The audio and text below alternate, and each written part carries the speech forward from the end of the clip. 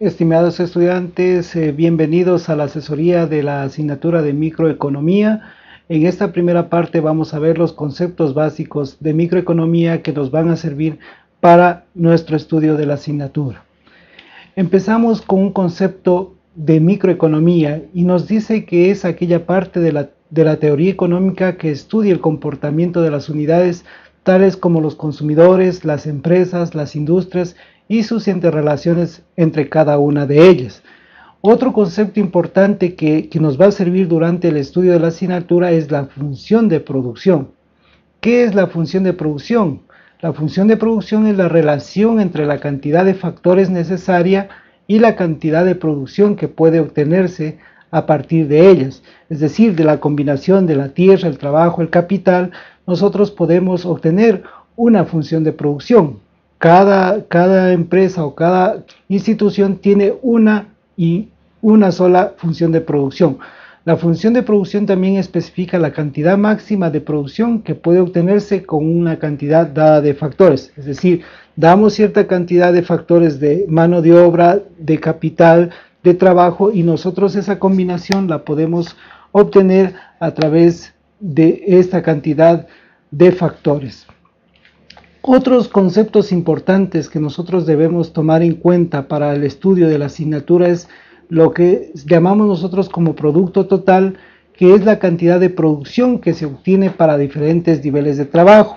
El producto medio, que es el cociente entre el nivel de total de producción y la cantidad de trabajo utilizada e indica el nivel de producción que obtiene la empresa por unidad de trabajo empleada. Y lo que eh, un concepto que lo vamos a ver durante todo el periodo de la asignatura es el producto marginal de un factor de producción que es la producción adicional que se obtiene con una unidad más de ese factor manteniéndose constante los demás. Es decir, nosotros hacemos una, eh, estamos en un proceso de producción y por ejemplo ponemos dos, eh, dos trabajadores y producen 10 quintales de, maíz, por ejemplo, en una hectárea de terreno. Si ponemos tres trabajadores, se mantienen constantes los demás factores, la tierra y el capital, ¿no es cierto? Y hay una producción. Esto no quiere decir que vaya a ser una producción exponencial, sino que llegará a un límite y lo que más adelante veremos lo que es la ley de rendimientos decrecientes.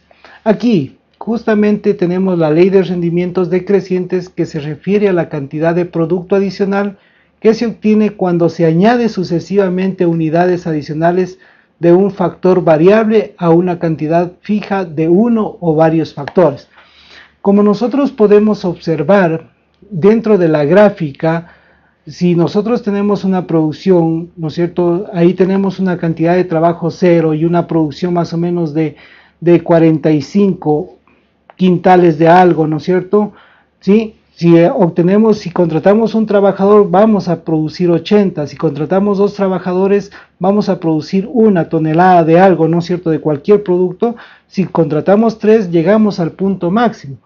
Ah, tengan en cuenta que cuando nosotros, por ejemplo, si eh, sembramos una hectárea de, trigo o de maíz, esta hectárea de trigo o de maíz va a permanecer constante y la, y la tierra durante los ciclos pues eh, permanece constante y eh, sufre un desgaste, desgaste de los nutrientes de la tierra, entonces la producción va a ser menos.